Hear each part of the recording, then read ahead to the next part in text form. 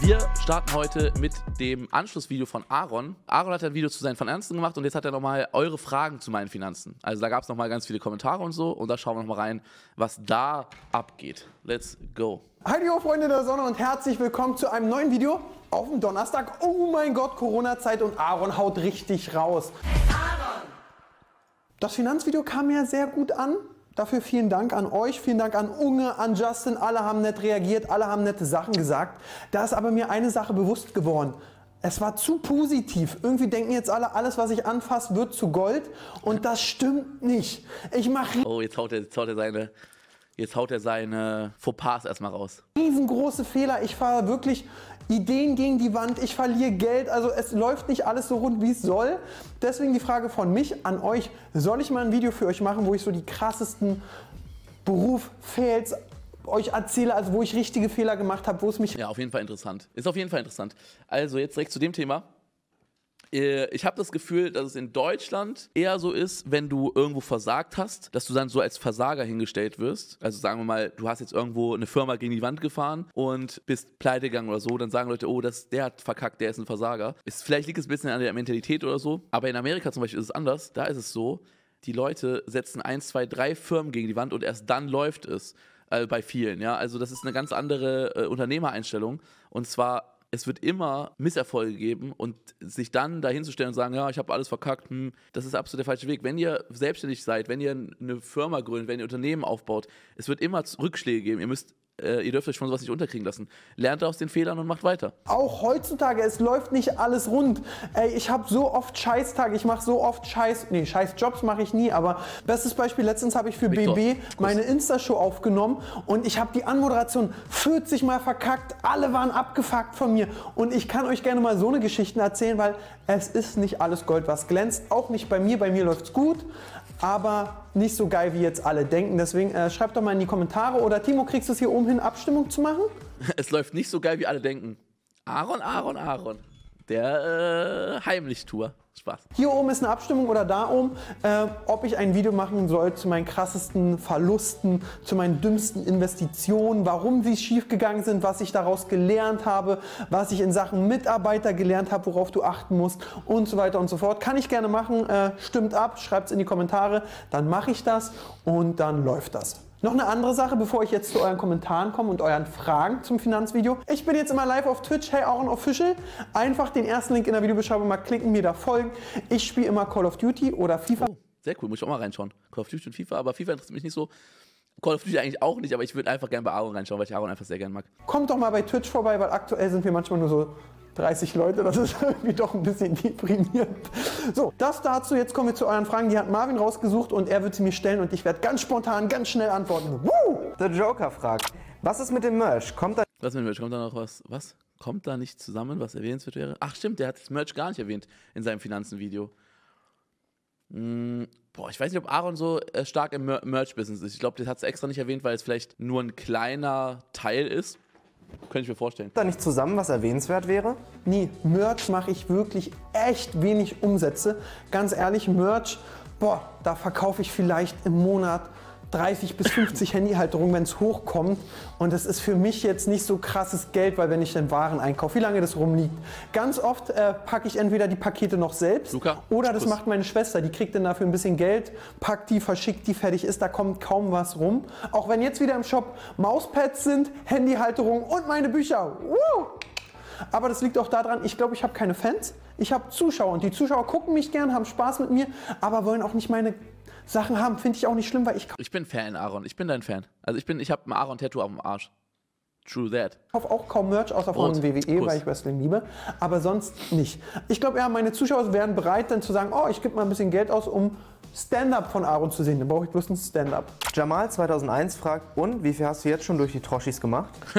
Minus bestimmt. Durch Troschis verdiene ich aktuell noch gar kein Geld. Wir sind noch in der Konzeptionsphase. Die XXL-Troschis sind so für Kunden, Freunde, Kollegen, Leute, die ich mag, schicke ich denen immer hin und die freuen sich. Die wird es demnächst aber die XXL-Troschis schon geben. Wie erzähle ich euch in dem Video, wenn ich Teil 2 der Finanzen nenne ich es mal, wo ich euch erzähle, wenn ich Geld verbrannt habe, wenn ihr das Video haben wollt, wenn nicht, ist auch nicht schlimm. Da würde ich auch erzählen, was ich mit Troschis vorhab. Lukas fragt, wo ist der Link zur Wer wird Millionär-Story? Trauriger Smile. Ähm, ich glaube, da gab es ein kleines Kommunikationsproblem. Also meine Wer wird Millionär-Folge gibt es nur auf TV Now, da hat RTL die Rechte. Die kann ich nicht auf YouTube hochladen, sonst kriege ich eine Menge Ärger, Mister.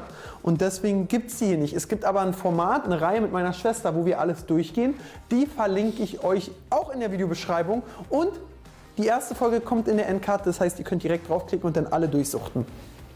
ICB Fotografie fragt, Hey Aaron, eine Frage. Welcher deiner Jobs war der härteste? Boah, welcher hat. äh, Lass mir raten, lass mir raten erstmal von Aaron. Der hat ja am Kiosk gearbeitet und was hat er noch gemacht? An der Tankstelle? Ich glaube, der Job mit dem Kiosk war, könnte ich mir vorstellen, sein härtester, weil er da Verantwortung für, für Mitarbeiter und den Laden übernehmen musste. Könnte ich mir vorstellen, dass das der härteste war. Bei mir war auf jeden Fall der härteste Job, auch wenn es viele Leute nicht glauben. Ich habe ja neben meiner Aus Erzieherausbildung äh, in einer Wer- äh, Wohnstätte für geistbehinderte Menschen gearbeitet und habe da auch in der Pflege gearbeitet. Das heißt, ich habe Leute äh, gepflegt, ich habe äh, ja eben Leute bei Dingen unterstützt, die sie nicht alleine machen können, zum Beispiel Rollstuhlfahrer, ähm, gelagert und whatever, also die Kubitusvorsorge und so weiter und so fort, was man halt machen durfte ähm, als Auszubildender.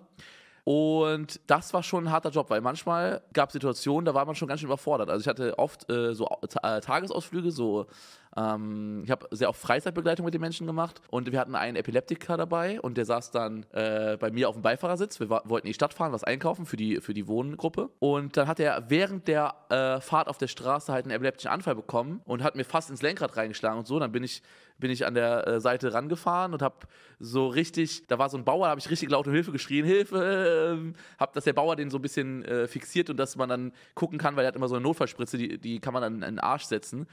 Und der, da war ich überfordert, weil ich war noch sehr jung und äh, sehr überfordert, dass, dass da irgendwas passiert, weil ich da noch nicht so viel Erfahrung hatte.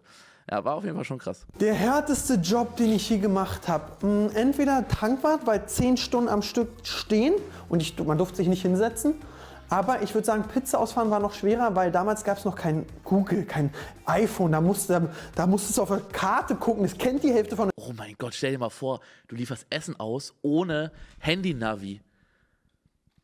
Alter Schwede, das waren andere Zeiten. Da musstest du ja die Straßen im Kopf haben wie ein Taxifahrer. Früher mussten die Taxifahrer ja noch wirklich wissen, was abgeht. Heutzutage Navi an, fertig. euch gar nicht mehr. Hast du darauf geguckt und ja, oder du bist dann zu irgendjemandem gegangen, der da auch Pizza ausgeliefert hat und hat gesagt, ich suche die Aaron Troschke Straße. Und dann stand der Ali, der Pizzabäcker, fährst du geradeaus, links, rechts, geradeaus, rechts. Und dann bin ich geradeaus gefahren und habe schon den Rest vergessen.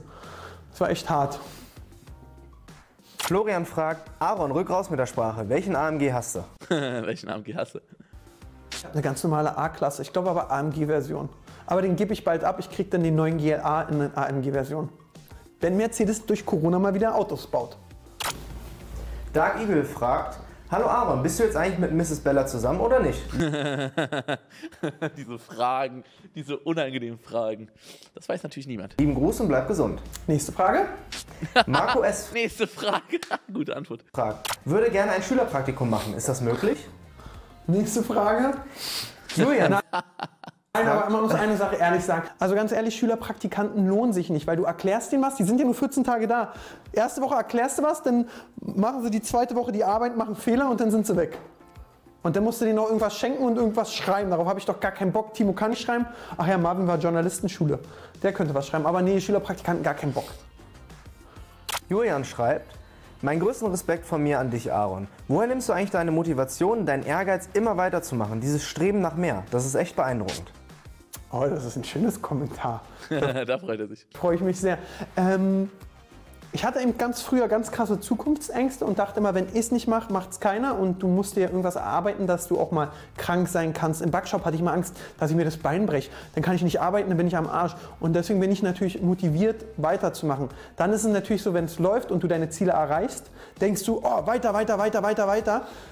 Bestes Beispiel mit Reachio. Ich war da dabei und dachte so, ja komm, bisschen Geld verdienen, Gehalt kriegen, gut ist. Da hat immer ein Kollege von Lavu gesagt, Aaron, denk groß, dass du es für viel Geld verkaufen kannst. Damals dachte ich so, ja, geh mir nicht auf den Sack. Heute muss ich sogar sagen, Tobi hatte recht.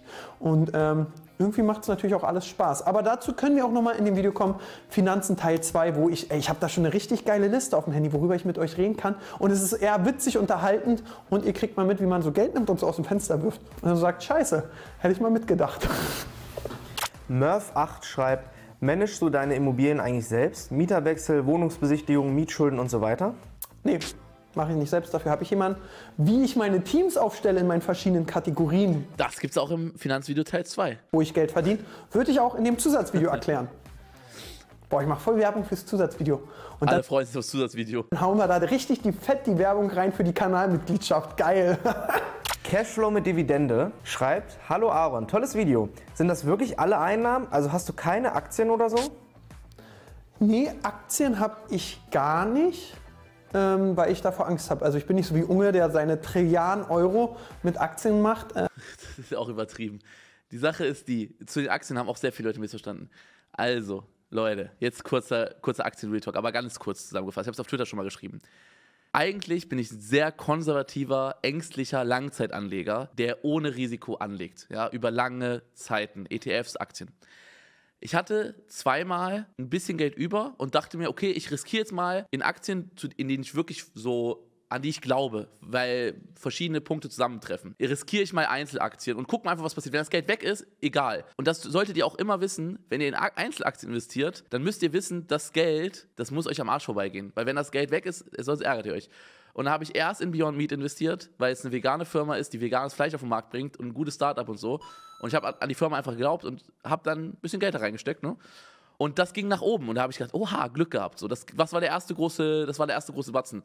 Und dann habe ich davon, nachdem ich das Geld hatte, gesagt, okay, hey, einmal würde ich es gerne noch probieren, in eine Einzelaktie reinzustecken. Hat ja einmal gut geklappt. Komm, stecke ich meinen Tesla.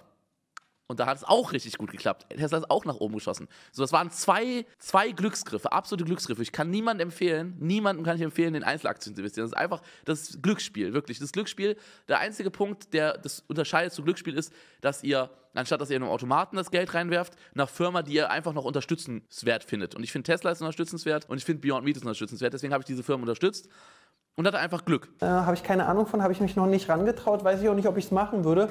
Ich habe ein bisschen äh, Kryptowährung, aber auch nicht viel. Lars schreibt: Wie lang sind deine Tage so? 379 Stunden?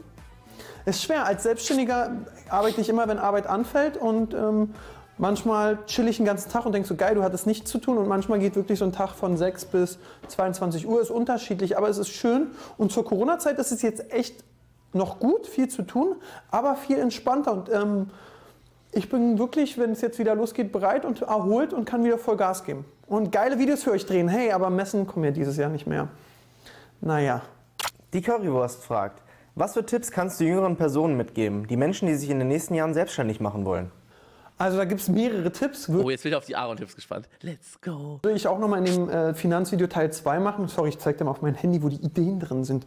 Also, die schnellen Tipps sind, überleg, ob es Sinn ergibt, womit du dich selbstständig machst.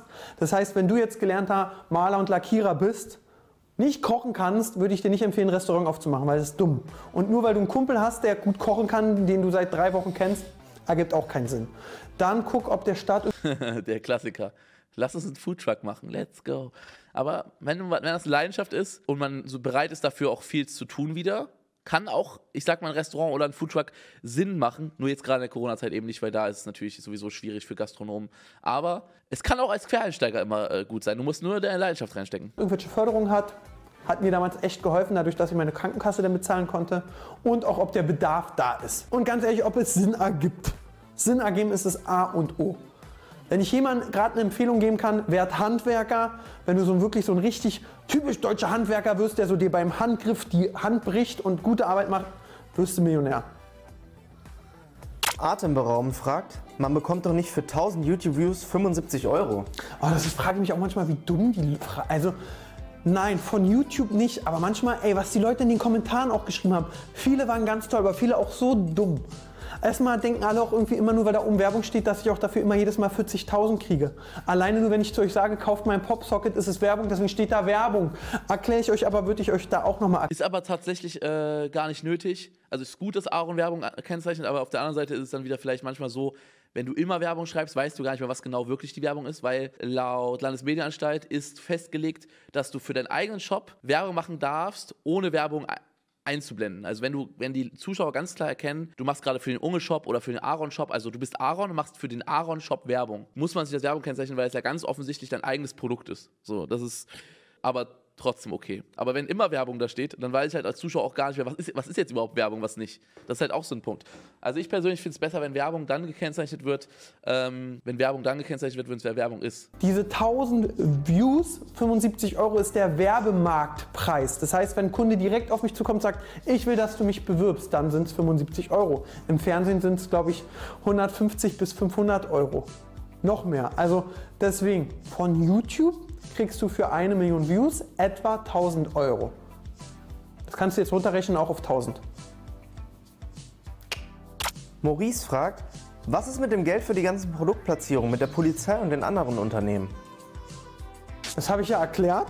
Also so wie er es erklärt hat, hat er von der Polizei gar kein Geld genommen, sondern hat das einfach mit der Polizei so gemacht. Du Fuchs. Aber zum Beispiel gibt es Kunden wie die Berliner Polizei, die zahlen gar kein Geld. Aber da ist es einfach so, ich will bei denen drehen, die sagen, geil, komm vorbei, kannst du noch Werbung für uns machen, dass wir Auszubildende suchen? Ich sage, ja Mann, mega geil, weil ich kann bei euch drehen.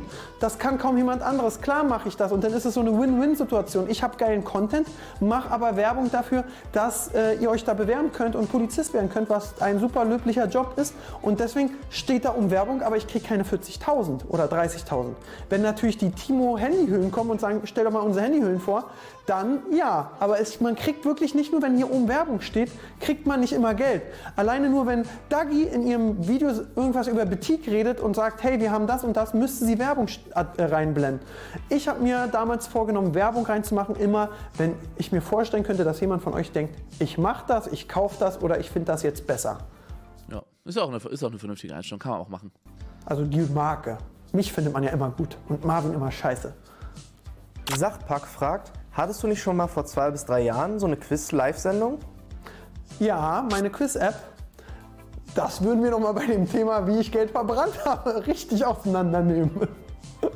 Ui, ui, ui, ui, 20 Mille, hopp, hopp, hopp. Ja, aber wir haben noch die Technik. M. Stocki schreibt, danke für das interessante Video. Man kann es dir nur gönnen. Hat mich voll motiviert, meine Unterlagen für die Steuererklärung rauszusuchen. So ein Mercedes ist doch auch mit hohen monatlichen Ausgaben versehen, oder nicht?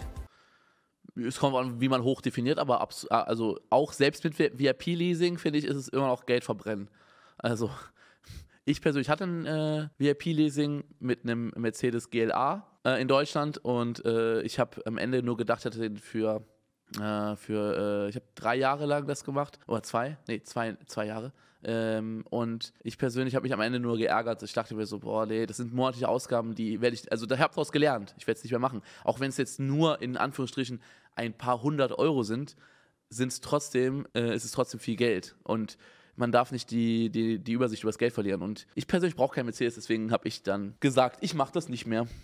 Aber für manche Menschen ist das wichtig. Ähm, erstmal freut mich total, dass du dadurch motiviert bist. Ich habe einige motiviert, da freue ich mich auch total drüber. Aber denk dran, im Video läuft bei Aaron mega, gar keine Frage, aber es läuft wirklich nicht alles. Das erzähle ich euch dann nochmal in einer ruhigen Minute. Oder ihr folgt mir auf Twitch, weil da floskel ich auch immer über sowas. Hey, kommt da vorbei. Hm, naja, so ein Auto kostet natürlich Geld, aber auch ein normales Auto kostet Geld. Und jetzt kommen wir ganz krass in diese Steuerthematik rein. Ich versuche es mal ganz schnell und einfach zu erklären. Ich hatte früher den 5er Golf und wenn du das Auto privat nutzt, wird dir 1% vom Neuwagenwert jeden Monat als Gewinn abgerechnet. Ich glaube, der Golf hat damals 35.000 Euro gekostet. Das heißt, jeden Monat rechnet mir das Finanzamt dafür, dass ich ihn privat nutze, 350 Euro an. Lupo, Für mein jetziges Auto, was ich auch so zahle ich Geld, aber eben bis ein paar Euro mehr und dann hast du anstatt einen Golf einen Mercedes. So habe ich es mir abgeleitet und mein Steuerberater hat es mir empfohlen.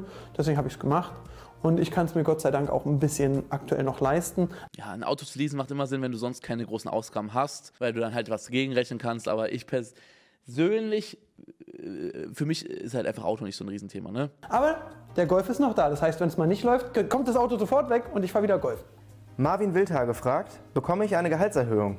Bring die Pfandflaschen weg, da stehen voll viele von Red Bull. Oh, jetzt habe ich Red Bull erwähnt, dass ich Red Bull cool finde und ich trinke gern Red Bull. Deswegen steht hier um Werbung und dafür haben sie gar nicht bezahlt. Ich muss mal Red Bull anrufen. So, meine Lieben, das war es auch schon wieder. Das war die. Ja, interessantes Video auf jeden Fall. Ja, checkt Aaron aus. Denkt dran, er streamt auch auf Twitch und hat auch bald einen Gaming-Kanal und mehr.